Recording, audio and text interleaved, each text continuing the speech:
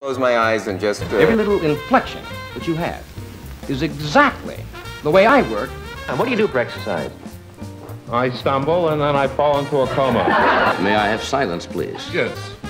You've had it many times before.